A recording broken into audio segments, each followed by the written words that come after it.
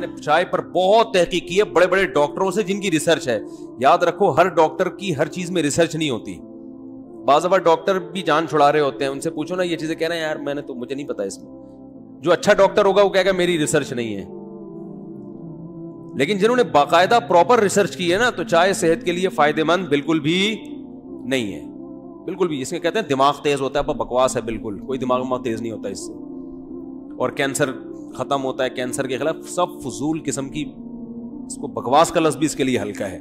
बस छुट्टा है मतलब काकड़ दिन्ना हो जाता है पी के, वैसे ज़्यादा कुछ नहीं होता। हकीकत है। है बस ये होता है। और ये वक्ती होता है। ये भी कोई ये नहीं कि अंदर से बॉडी को एक ताकत मिल रही है आपके एनर्जी मिल रही है। तो बस वो है कि जैसे सुट्टा लगाओ तो सुट्टा तो सुट्टा होता है, आपको पता है, चर्स पियो, एकदम फिटफाट हो जाएगा। अब चर्स के फजाइल बयान करना शुरू कर दें तो गलत है। नशा है नशा। हाँ ये बहुत हल्का नशा है, ये कह सकते हैं आप। चर्च हीरोइन तो बहुत ही खतरनाक चीज़ है। हीरोइन तो बहुत ही ज़्यादा चर्च उससे कम। चाय बहुत मामूली सा नशा है, लेकिन है बहरहाल नशा ही है। ये कोई अच्छी चीज़ नहीं है। मैं भी पीता हूँ, छोड़ दी थी एक साल।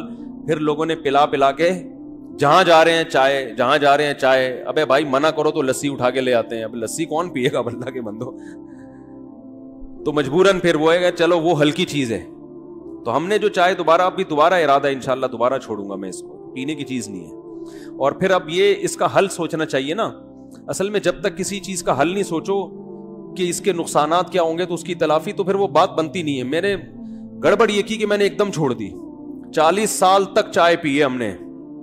बचपन से पैदा होते ही पीना शुरू कर दी थी। माए तो बचपन, दूध जैसे ही छुड़ाती हैं, बच्चे को फ़ौरन चाय पे ले आती है ना, सब घरों में हो रहा है। अब सोचो चालीस साल एक आदमी ने चाय पियो दिन में तीन तीन, चार चार कप एकदम छोड़ देना बड़ा मुश्किल, लेकिन हमने छोड़ दी थी। और कई दिन तक दिमाग की सेटिंग आउट रही है, लेकिन एक साल छोड़ के फिर वो दस दिन में कैफीन का नशा खत्म हो जाता है, लेकिन एक यादें वाबस्ता रहती हैं।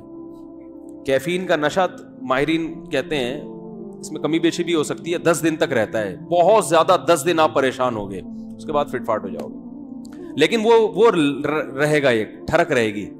किसी को चाय पीता हुआ देख के दिल चाहेगा, ले लूँ। ये ठरक बाकी रहती है, तीन चार महीने में ये ठरक भी क्या हो जाती है? खत्म।